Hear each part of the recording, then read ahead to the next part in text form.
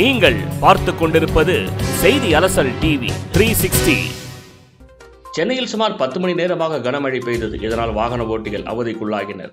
சாலைகளில் தேங்கிய தண்ணீரால் நள்ளிரவு வரை போக்குவரத்து நெரிசல் நீடித்தது. கனமழையால் பாதிக்கப்பட்ட சென்னை காஞ்சிபுரம் உள்ளிட்ட நான்கு மாவட்டங்களில் இன்று பள்ளி கல்லூரிகளுக்கு விடுமுறை அளிக்கப்பட்டுள்ளது. அத்தியாவசிய தேவைகள் தவிர அனைத்து அரசு அலுவலகங்களுக்கும் விடுமுறை அறிவித்து முதலமைச்சர் மு க ஸ்டாலின் உத்தரவு பிறப்பித்துள்ளார்.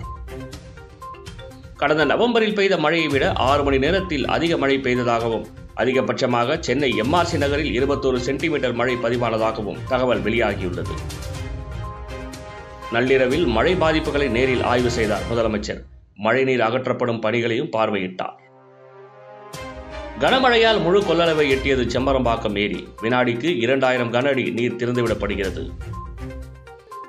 சென்னையில் மழையால் மின்சாரம் தாக்கி மூன்று பேர் உயிரிழந்தனர். விசாரணைக்கு உத்தரவிடப்பட்டுள்ளதாக அமைச்சர் செந்தில் பாலாஜி தகவல் தெரிவித்துள்ளார். ஊரடங்கில் கூடுதல் கட்டுப்பாடுகள் விதிப்பது தொடர்பாக இன்று முதலமைச்சர் ஆலோசனை நடத்துகிறார்.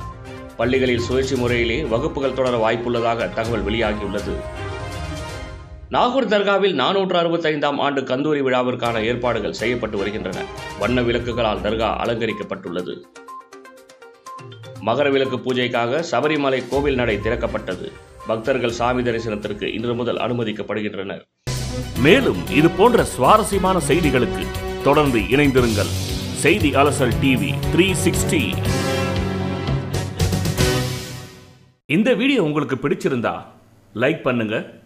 ஷேர் பண்ணுங்கள் கமெண்ட் பண்ணுங்கள் சப்ஸ்கிரைப் பண்ணுங்கள் மறக்காமல் அந்த பெல் பட்டனை அழுத்துங்க.